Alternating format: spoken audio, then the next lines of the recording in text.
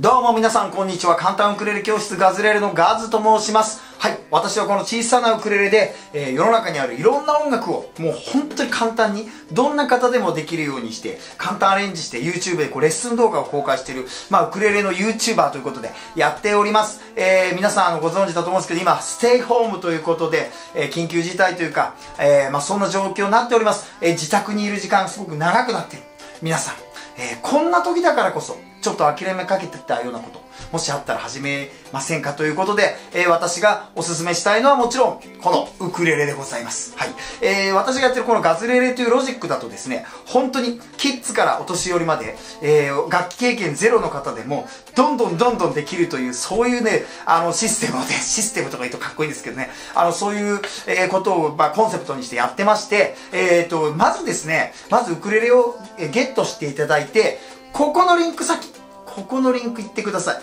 このリンク先行くと、上から順番に見ていくだけで、どんな方でもウクレレが気づいたらすぐ弾いて歌えるってことになる、そういう、なんていうのプロ、プログラムになってるんですよ。ぜひ皆さんこれを機に、ちょっとした隙間時間でもできますし、YouTube ですからね、スマホとかタブレットとか、ご家庭によってはテレビに映すこともね、できるご家庭もあると思うんですけど、それ見ながら、やっぱりね、あの、いろんなの受け取ってばっかりじゃなくて、やっぱ自分でこうやってみるっていうのがいいと思うんですよ。で、しかもですね、このウクレレで、あのね、皆さんちょっといろいろ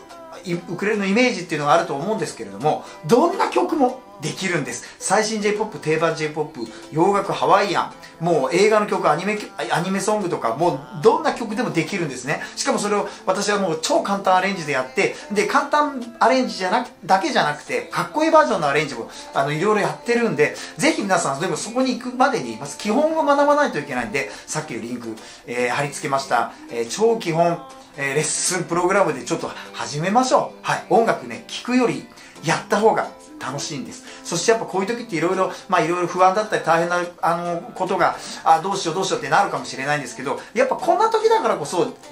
楽しいことをやって、笑顔をでね、あのー、笑顔の時間を増やして、そういうことで自分の免疫力も上がるし、えー、あと、ちょっと面白いなと思った方、これ YouTube ですので、どんどんお友達とかお仲間に紹介していただいて、えっ、ー、と、オンラインでこう教え合ったりなんかして、えー、そういうのもいいかなと思います。そしてガズレレではですね、こういう本も出版しております。これリットミュージック、リットミュージック社というところが出てるんですけど、もうこれ、超簡単な、あの、ソングブックということで、こっち100曲、こっち50曲で、これ、あの、アマゾンとか、あの、本屋さんとか楽器屋さんでこれ多分ね、この私の顔がバンバン出てると思うんでゲットしてもらいたいんですけど、こういうのは、YouTube 完全連動であったりとか、とにかくいろんな方にこの自分でやる音楽の楽しさをね、まあ知ってほしいっていうか、これ本当にね、めちゃくちゃ面白いんですよ。本当にすぐできますから。はい。で、すぐできるんだけどね、簡単なんですけど、いつも言ってますか、奥も深いんです。だからずっと続けられる、こう人生のパートナーみたいになると思いますね。こういうことをきっかけにね、ずっとこれから長いお付き合いになる自分の生み出す音楽っていうのを体験していただければなと思います。はい。ガズレレ .com 私のこのホームページ、一応リンク貼っておきますけど、そうするとまあこの